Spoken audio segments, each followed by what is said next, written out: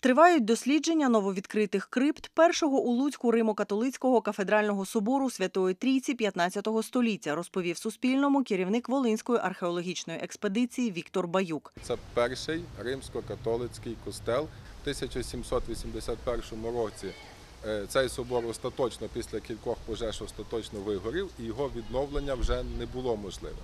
Його розібрали по денній поверхні.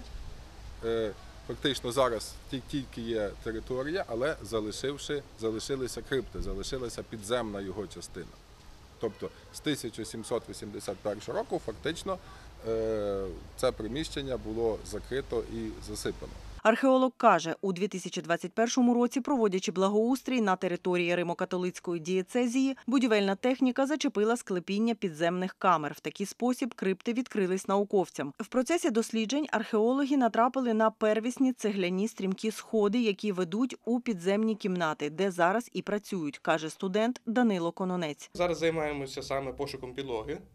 Сходимо так по шарам, і донизу це в нас має бути або материк, або підлога в вигляді е, підложних плит, або підлога в вигляді цегли. Далі чиститимуть цеглу на стінах, аби правильно датувати споруду та дослідити історію її відбудови після пожеж, каже Данило Кононець. Розчин всюди вапняковий, але, Але цегла цегла відрізняється по форматам. Бачите, тут вона тонша більше, там в стіні бачимо і геть таку широку пальчатку і вущу. Студент, майбутній археолог Богдан Омельчук показує фрагменти культурних знахідок, які вибирають серед сміття та ґрунту. У нас є зелена половина кахля, яка використовувалася в 17-18 столітті. Не один у нас такий екземпляр, їх тут дуже багато.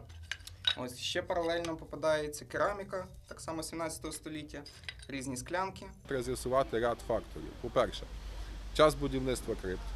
По-друге, чи е, збереглися там поховання. На цей момент одна крипта була е, відкрита, не була замурована, зараз ми з нею працюємо. Друга крипта замурована в давні часи, засипана повністю землею. Ми не знаємо на цей момент, чи там залишилися поховання. Настоятель Петропавлівського костелу Павло Хомяк каже, католицька дієцезія у Луцьку існує з початку 15 століття. що зазвичай в таких місцях ховали високодостойних. Тобто я надіюся, що там були єпископи, і можливо б хотілося, щоб вдалося знайти поховання якогось єпископа з гербом. І ці відкриття вони важливі для нас, як для церковників, е, з такої причини, що це наша історія, але це також історія міста Луцька. Тетяна Біскуп, Олександр Ватащук, Суспільне новини, Луцьк.